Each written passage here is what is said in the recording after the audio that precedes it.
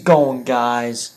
We are back and hopefully just hopefully this time the sound doesn't just get completely fucked up because last time I did the Western Conference it got screwed up but then I, I, don't, I don't know what it was. Alright so we're just gonna dive right into this.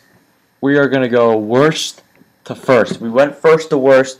Now we're gonna go worst to first of the Western Conference starting with the Colorado Avalanche. Now Colorado 34 points they're really not getting it done. I mean, last season, the Colorado Avalanche, they were, were a good team. They were a decent team. You look at the previous year, you know, they had a good 41, 35, and 6 record. You know, that's all right. You figure this year they're going to improve. No, they did terribly.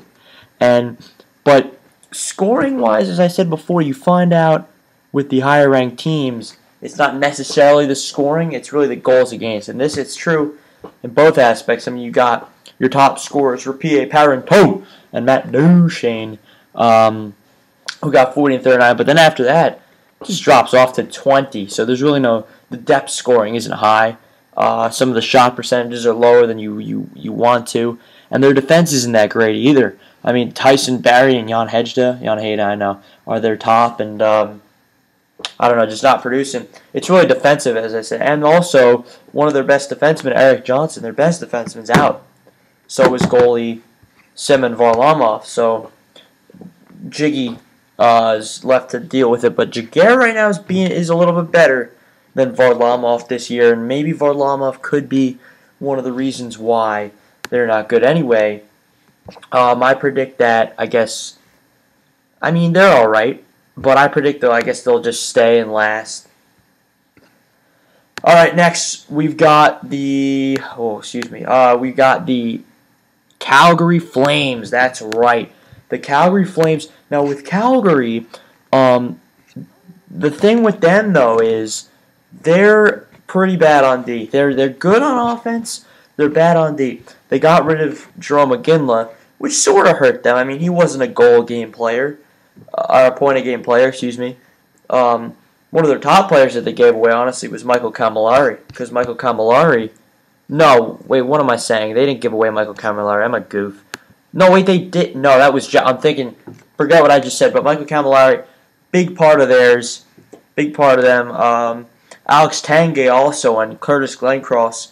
But the big story is Lee Stempniak. He's he's a big assist guy, and you know what? You just say to that, you're kind of thinking, well, you know, that, is this really what Calgary's come up to? I mean, it really should be Cammalleri, Tanguay, Glencross, and Stajan that are your top players. Um, also, they got rid of they get they uh, traded Jay Bouwmeester away. That was tough, and uh, they got the the young rookie. I gotta say it from Johnny Superman. You got Borchese, Borchese, Sven Baertschi. I don't know why he calls him Borchese, but anyway, um, but then you, I mean, you look at some of these shot percentages. They're really good. You look at Alex Tanguay, who scored on 25% of his shots. You look at a guy like Curtis Glencross who scored on 17% about. But then you look at their defense and they've got no defense. I mean, you look at their leading defensive scorer. I mean, I know you can't look at leading defensive scorer, but that's they have a minus seven and a minus eleven. Their top two defensive lines, uh, Mike Giordano and T.J. And you just can't have that. In net, um, well, I, there's not much to say. When Miikka Kiprusoff is just having a god awful year, a god awful year. The Kip Kipper looks like he needs to go back to Sim Liga because he's just doing horribly. I mean, six and thirteen, a .872 save percentage, a three point six goals against average. No shots by anyone. I mean, Jimmy MacDonald, Joey MacDonald is their best player, is their best goaltender. I mean, he has above .9 and he has um, a 2.84. Hold on. All right, I'm gonna cut that part out just now. Um, but yeah, I mean, you get Leland Irving. Um, I mean, you get Joey MacDonald, and then they, they have a series of backups. I don't know, but Calgary not doing well either. They're they're down in the pl- they're down for a plummet, man. I mean, it's it's sad to see Calgary. They were trying to get back up there, and they just fell right back down. And I mean, I don't know if it's just the half season, but whatever. Um, for them, you know what? I actually say that they move up uh, to. I move. They they move to twelfth only because they've been a lot better than the next two teams coming up of late. One of those teams, the Nashville Predators, a team who's lost one of their key defensemen, Ryan Suter, and um, they still have Shea Weber, but he's their he's their leading scorer right now. When when a defenseman's your leading scorer, all I fucking gotta tell you is he better be Bobby Orr. Otherwise, it's it's not that good. That means you're not a, a strong offensive team, and and they never have been. I mean, Paul Kariya, I think with 86 points was had their most points in a season. You can't you know at 86 points is your most points in a season. You look at even even Minnesota has had you know 90 points scoring Gaborik. So I mean, and then you know they're, they're I'm talking about the close uh, the newer franchises. Um, yeah, but I mean they've got a lot of collective scoring, but then again they've got a lot of minuses, and one of the big one of the big issues is their minuses. You got a guy like Scott Hannan, a grinder on the third line D, getting fucking minus 11. I mean, he's only played in he's only played about three quarters of the games, and he has minus 11. You look at their shot percentage; is very it's very errant. You know, it's it's it goes from 16.4. Their top scorer, Legwand, okay, defenseman was seven. Martin Erat though 6.7. Um, a guy Martin Erat, you look at him and uh, I mean, he's he's a guy who gets goals. He usually scores some goals. And by the way, I don't think he's I don't think he's no longer on the team anyway. So then you get Mike Fisher, and you know what? You look at Mike Fisher, and he should be producing a lot more too. Mike Fisher's been one of the biggest disappointments, I'd say. He is definitely one of the mo- one of the most overrated players, Mike Fisher. I gotta say, and he's on this team. In net, Pekka Rinne is doing well. A lot of people thought he'd be the Vezina, but nah, this isn't just a team that just can't score. This is one of these opposite teams, and that's why I think they're going to fall. Um, they're actually to, I think they're going to actually fall into la- a second to last where Calgary is now. That's going to happen. Nashville, not not great, falling behind, uh, and Ryan Suter, believe it or not, I wouldn't think I didn't think it hurt them that much. It actually does for a team that really doesn't score. Okay, we move on to Edmonton, and this is a team where everyone says, hey, you know, they got the top prospects. They got the top prospects every year. They're going to do it. You know what? There's just some reason. There's some reason why Edmonton can't seem to find ways to win. I don't know what it is. You got Taylor Hall. You got your top five scorers are who do you think? You got Taylor Hall leading the way with mostly assists, 13, 28, 40. You have to cut a lot of fucking things. Um, okay, so you got Taylor, yeah. Uh, then Sam Gagner is your second scorer, 14 goals. He leads the team in goals, 21 assists, 35 points. Uh, Jordan Eberle and then Nail Yakupov and then the Nuge, the Nuge, one of the top assist guys who is injured. I mean, you know, I mean they're they're they're all right goal scoring. Um, just for some reason they just seem to lose games. You know, I don't know what it is. They just seem to lose games and they haven't been well recently. I mean, they lost a bunch in a row. And in net, they had the dude, they had the Nuge and the Doob. You know, it's crazy things. The dude, um, he's actually doing well. I mean, you look at his stats, his save percentage is .922 for a losing record. That's great. Um, a couple pair of shutouts and a good 2.5 goals against average. Uh, you look at shot percentage, and shot percentage is actually pretty high. It's just for some reason, maybe it could be the defense. I don't know. Um, they just seem to lose games, and that's why I think they're going to be 13th. Just because recently, you know, they haven't been doing well. Um, you know, basically. Okay, so we move on from the Edmonton Oilers to your next uh, team up there, and that's the Phoenix Coyotes. The Phoenix Coyotes currently in the 11th spot right now. Um, This is again uh, another team which just they just seem to lose. You know, they just seem to lose. You look at uh, some of their previous games. Overtime loss, two nothing loss, overtime loss, overtime loss, 3-2, 2-1, 3-2. You know, they lose these close games and it's not necessarily any it's not really necessarily any one in particular, just they lose games. Now again, I'm not, I don't watch a lot of these teams, so I'm just going off of stats and recent games. I don't know how they play this season. I mean, it looks like we got 14 guys with at least 10 points. That's good. You got you know seven guys with at least 20 points. That's good. Um, so yeah, that's that. Um, their leading scorer, oddly, is a guy named Mikkel Boedker, who um, uh, he just doesn't seem like a leading scorer. Material. I don't know. He This is the most points he's had in his career, or something like that, in the shortened season. Taking a lot of shots. Um, in that, Mike Smith, uh, average. You know, they're they're an overall average team. They just, I guess it's just luck. I mean, they're over 500, and why not? You know, it's it's tough to be in the West at this time, and it's, it's all I got to say about Phoenix. And I think that they'll. You know what? With Phoenix, the interesting thing about Phoenix is you don't know really how they're going to finish up. Mean, last year they had a great year, and you know what? I think that they are going to, believe it or not, stay where they are. Out of all the things, I think that they're going to stay where they are. All right, um, then you got the Columbus Blue Jackets. The Columbus Blue Jackets are next, and this is a team that really surprised me because I thought they were just going to be the same old Blue Jackets, but that trade for Marian Gaborik, whew, it was a good trade. Uh, Derek Brassard was a key player. Uh, they have to trade him away, but they get a guy like, you know, uh, they get a guy like Marian Gaborik, and look what he's doing for them. He's got six points in six games. That's all good. You look at uh, Columbus, um, and they are not that great scoring in their uh, goals goals against. So they are actually pushing a little bit uh, for a playoff spot, and I don't think they'll get it, unfortunately. But I think they'll actually be ninth, and I'll tell you why. Um, it's certain guys on the team, like defensemen like Fedor Tyutin or Jack Johnson, that are busting their tail to be on this team. You look 26 minutes for Jack Johnson, 24 minutes for Fedor Tyutin, you know, four or 16 points for Jack Johnson on D and 18 points for Tyutin. The leading scorer is Vinny Prospal, guy who's been around the league a lot, big veteran presence who knows what he's doing. Uh, it's his second year on the team. And I think I think Columbus is going to get as close as they have in a, lo- a, long while in making the playoffs, whether it be one point, two point.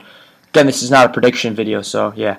Um, and then in net, they've got Sergey Bobrovsky, Sergey Bobrovsky, the number one cop on the force, Bobrovsky, and he is the number one cop on the force right now.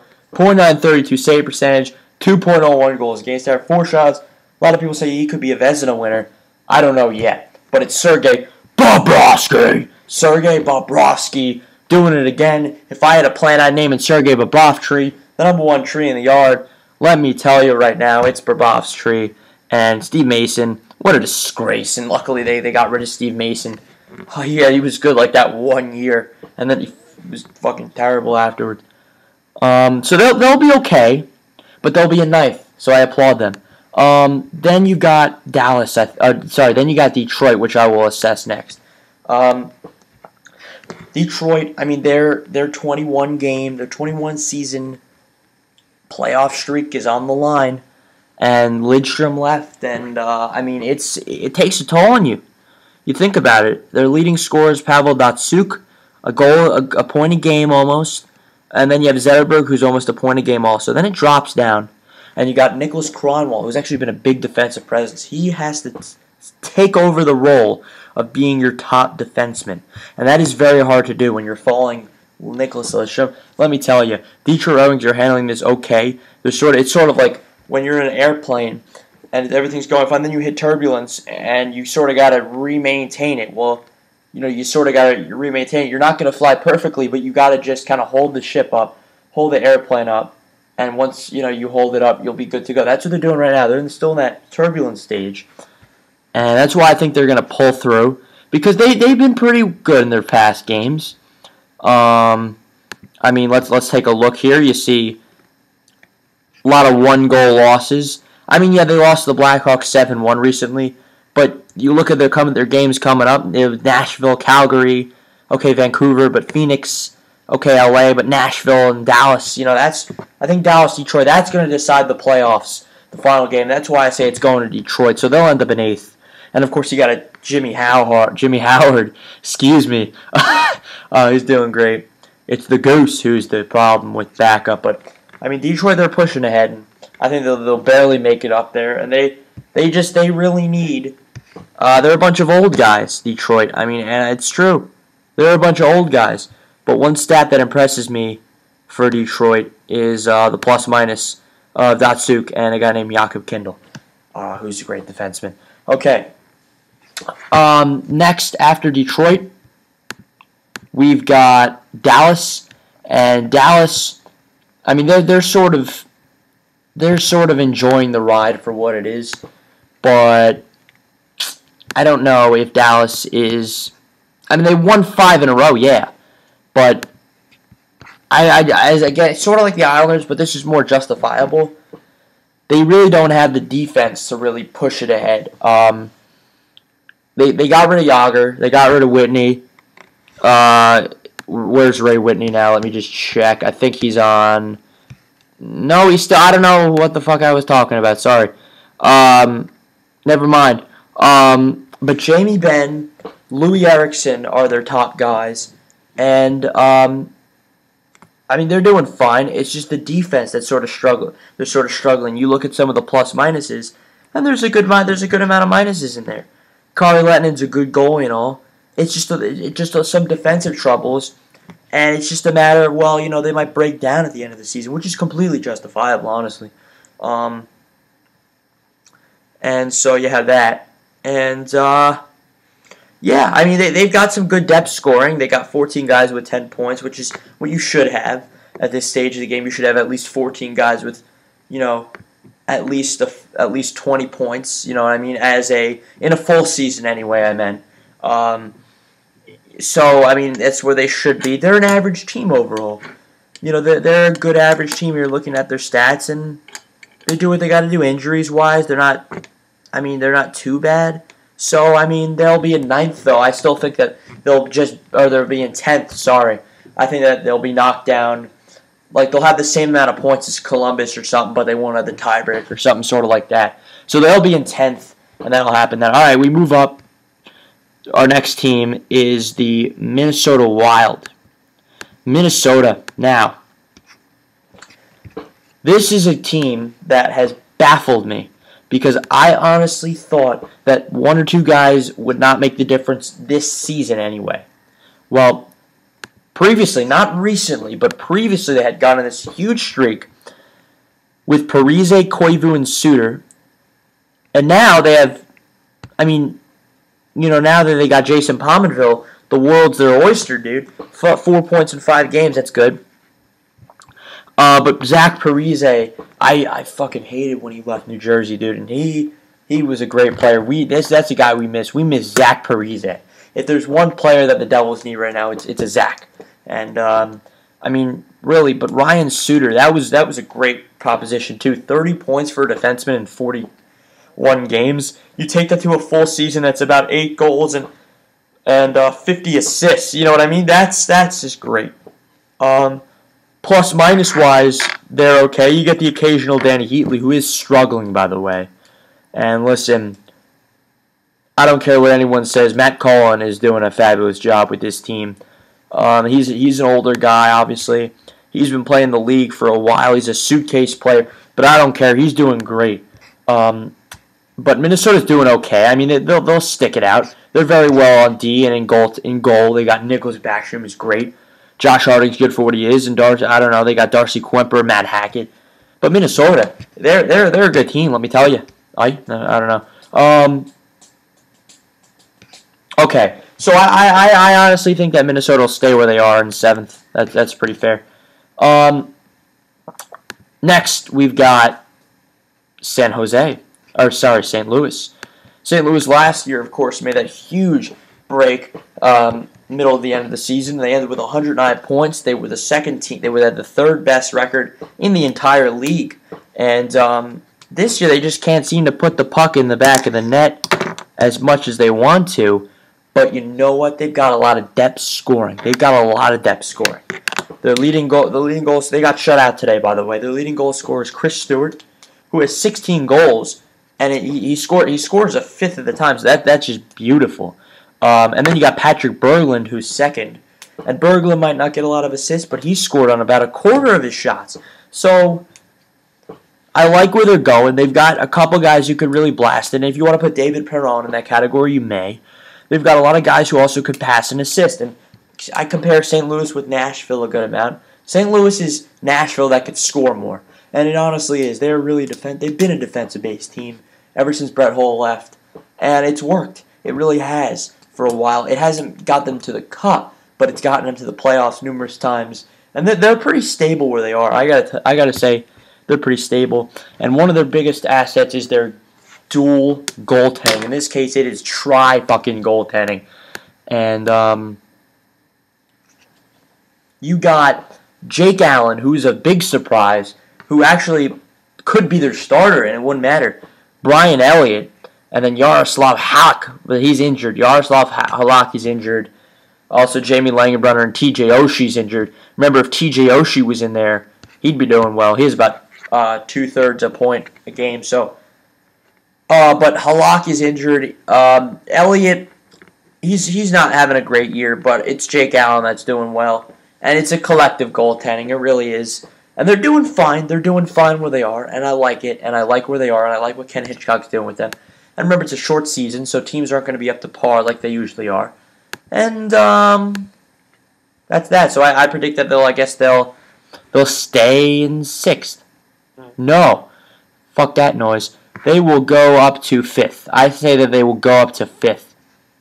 I say that they will. Sorry, I say that they move up to fifth by the end of the year, and you know hey, why not? Uh, St. Louis, even though they lost two in a row, um, they play a team like they play Colorado twice. They play Dallas and they play Phoenix. Three of those four, and they play Vancouver. They should go three one and one in those games. Honestly, you uh, the team that we're going to review next plays a little bit more tougher teams uh, who should maybe go two and two. And the team we're going to review next, of course, is the San Jose Sharks, a team which many question: Are they fading?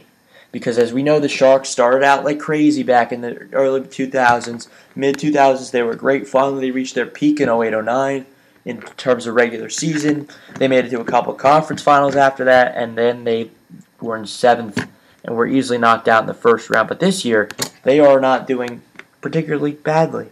Uh, I like what Todd McLellan's doing with the team. Uh, he's he's really styling them into his own, you know, defensive core. I mean, they've been a big offensive team for years. Now it's time to be back in the defense. Joe Thornton getting older, getting wiser though. He has 29 assists, 36 points in the games. Um, Logan Couture and Patrick Marleau are the big goal scorers. Marleau leading the team in goals, which I like. Uh, and Pavelski tops them all off with about even. So he's 12 and 13. So you got a guy who gets the assists, you get two guys who get the goals, and you get a guy who gets a little bit of both.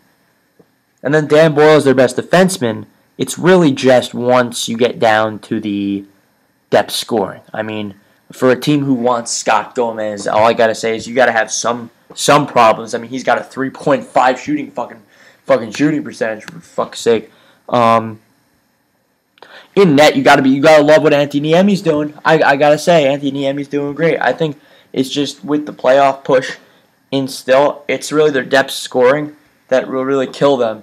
And I think that well, they'll just be knocked down to six. That's all I think. And it'll be very close, don't get me wrong. But they're a great team. They are a great team, San Jose. And uh, in the playoff prediction video, we will see what they'll have, what we'll do. Okay, now we move up to number uh, four currently, which is LA. The defending Stanley Cup champion Los Angeles Kings. Now, let me tell you they are doing great. They've got 14 guys with your 10 points. They've got 7 guys with 20 points. Two of them are defensemen, which you always want. The leading scorer is Anze Kopitar, who is just excelling right now. And then they have Jeff Carter, who could really score. 24 goals. He's third or fourth in goals. I forget which. And the Kings, they're moving along. They're doing very well. They've won their last two. They won six out of six, two, and two. Um, I like what they're doing. Jonathan Quick, though, is having a tough year. He's having some sort of Stanley Cup hangover. But it's Bernie Mac, baby. Jonathan Bernier, who is really uh, excelling. And, uh, I mean, he, he's saving this team in terms of goaltending. And in terms of goals against and goals for, they're pretty even. They're sort of in the middle front of the pack. So, I mean, LA is going to do very well. Um, I like their defense. I like their defense, though, especially their first line. Uh, defensively, they're a great team in terms of that. And uh, another guy who could score is Dustin Brown, who's their captain. He's a big uh, sniper. So um, I like that. Uh, so they will be fourth. All right, we move on to the top three teams. And number three, we got Vancouver and the Canucks. They were shaky, but they have secured their place, I think, in this third place. The Sedin twins, baby. They are doing very well. Uh, almost a point a game for each of them. It, I think I really think it's the goal scoring that could they could fix, but their their goaltending is great. I mean, Luongo is actually very good as a backup. Cory Schneider, baby, he's he's on fire. Five shutouts, two point fourteen goals against average, fifteen wins. There, he's on fire. Um, and then on D they've got Hamhuis, who's really a breakout. Uh, Hamhuis was not really known too much as a scorer until last season. Actually, um, he was a. I mean, I he's a two way. I see him as a two way defenseman. He's a good player. I always figured him as a hitter. I don't know why, but I guess he is. Um, and then you get uh. The, the, see, the problem with Vancouver though is they're sort of an oldish team, a little bit. They're sort of an oldish team, and their youngest, their top player under 25, Zack Kassian, who he's doing okay. Uh, I love the plus minus ratings in Vancouver. They've got 14 players with over with a, at least with a plus rating. Henrik Sedin with plus 20, Burrows with plus 17, Jannik Hansen and Jason Garrison with plus 15 leading the way. So I love what Vancouver's doing. They are going to finish in third. So they are going to stay in third and finish in third. Okay. Um, we move on to the top two teams, and let me say, these top two teams are running away with this shit. They are doing great. You get the Anaheim Ducks. We saw it with the Anaheim Ducks. The Anaheim Ducks, if it hadn't been for the Chicago Blackhawks, obviously are the best team in the league right now. Bruce Boudreau, he knows what he's doing. He fell off in a uh, wash at the end because Ovi is selfish. I don't. I, he's a great player, but he's a selfish motherfucker.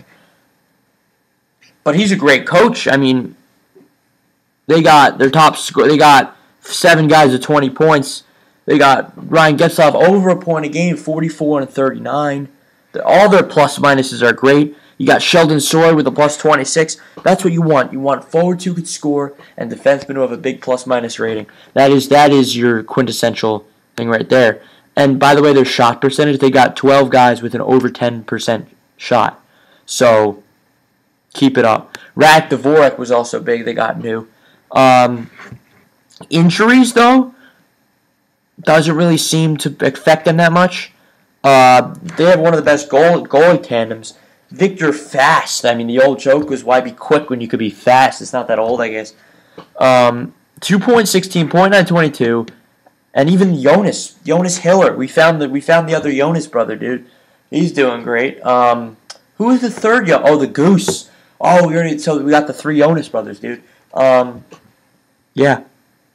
Um, Teemu Selanne is old, but he can move, man. He could really move. Uh, Saku Koivu, um, he's doing great. Bobby Ryan, Corey Perry, they're all doing great. I mean, I, I have nothing bad to say about Anaheim, honestly. They're these, they're they're middle of the pack in goals against. They're up, up they're in the top of the pack in goals for. They just seem to have the perfect balance right now. I mean, when when things are going well for you, even though they lost two games in a row, it's okay. You know, it's fine. They've got Columbus, Calgary, two Edmontons, and a Vancouver. So the, those are games, another three, one, and one, which they really should go. Um, and they'll stay in second. Okay, and finally, we've got the Chicago Blackhawks. Fuck yes, dude. Chicago is amazing. They are amazing. Patrick Kane Jonathan Toews over a point a game. They are doing the best that anyone could ever do. They are the top team in goals against. They're the second best team in goals for. They are everything. They won on this huge 24 game uh, point streak. Right now they're 32, 5 and 4. They just had a shutout win. When you when you only go home sad five times in a season, you know you're doing fucking awesome. Um, uh, shot percentage is always good. Guys above 10%, well, you got nine of them.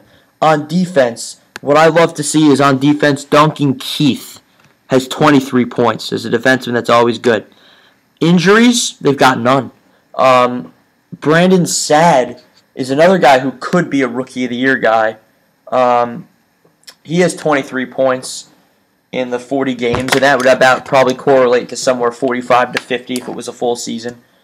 And he's got a good uh, he's got a good shot to him. I like him. Um, yeah. Um, on D, uh, Keith Seabrook and Leddy are your top guys. And then, I mean, defensively, they're all good. At plus minus, you've got the whole team is, is a plus. I mean, the only two players who are Dave Bolland and Sheldon Brookbank, who don't really play that often, are the only minuses on the team.